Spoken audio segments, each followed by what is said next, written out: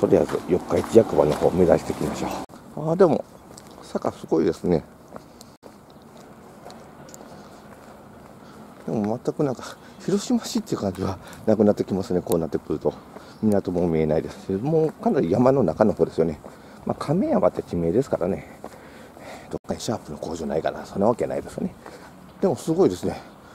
造成工事すごい大規模ですね。ここまでずっとやってるの。え、これからなんか、まあ、やっぱ鉄道が要はまた通ってきたってことで、そこから再開発が進むっていうのは、それはまた、ね、最近はどんどん廃線でね、えー、しぼんでいくっていう話ばっかり聞きますから、いいですね。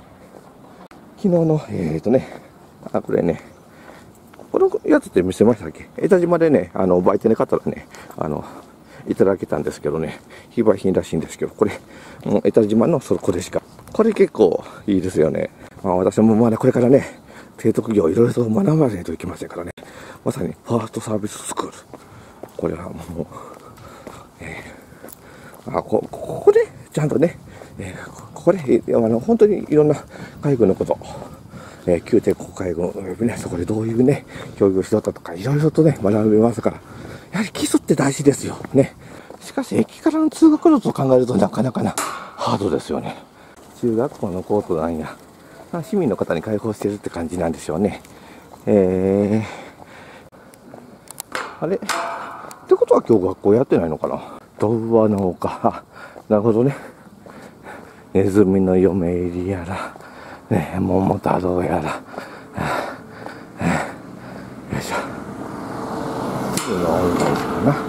えー、えー、いろいろと出てますね。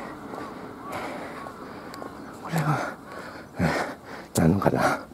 でもやっぱこの辺りですね、やっぱそうですよ。桃太郎ですよね。桃太郎はお前隣やるってあれですね。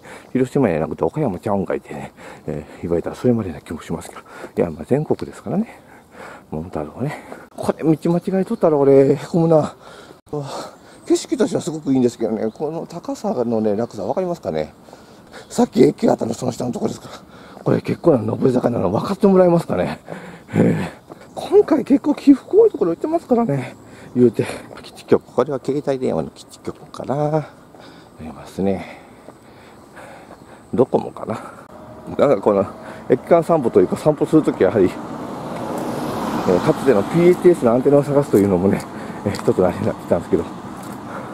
ちなみに昔ね、ウィルコム面白いサービスがあって、PHS のアンテナがここに立ってますっていう位置表示サービスがあったんですよ。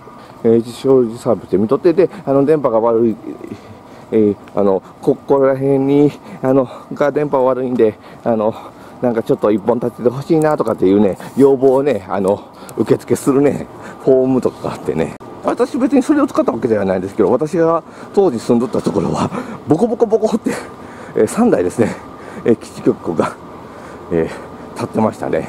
おかげすげえ電波良かったんですけどなんかね私の家をちょうど取り囲むようにね、えー、立ってました、えー、よっぽど多分私が2台持ちとかでねあの当時あのウィリコムの W03 でしたっけ。あの Windows 搭載のスマホですね。初代スマホでもう分厚くてねスライド式でねガチャってやるとキーボードが出てくるっていうようなタイプでね好きだったんですけどねあれいろいろとできてね。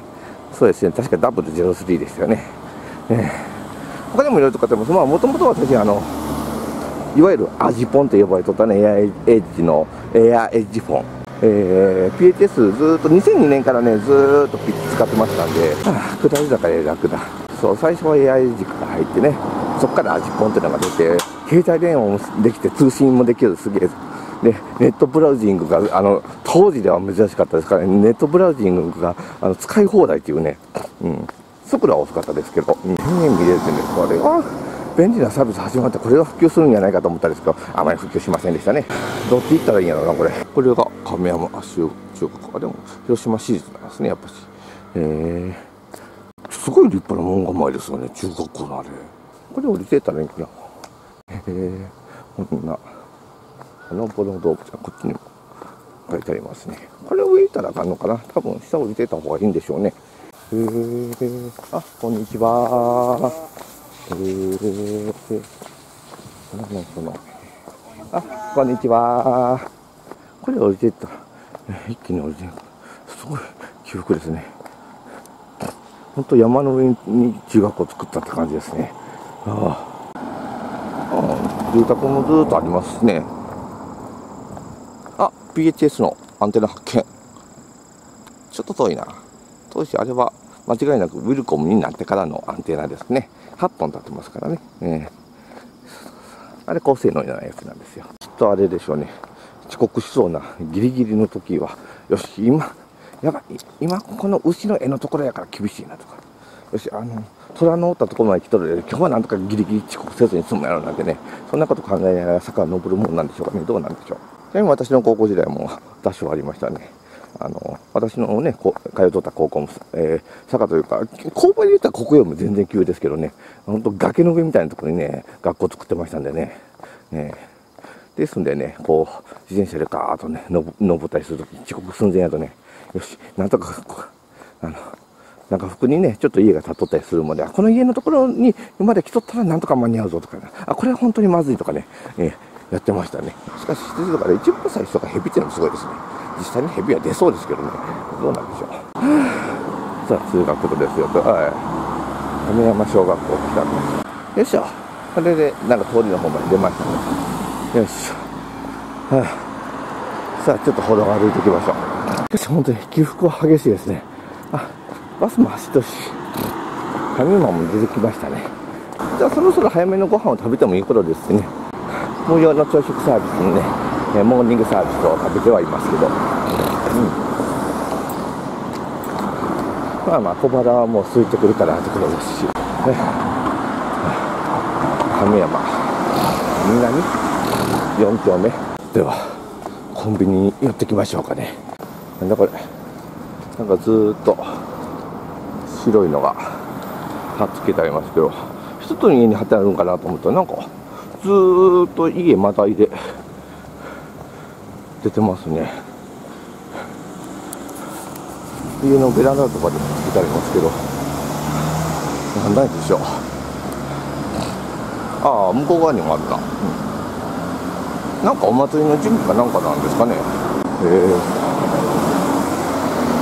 よし。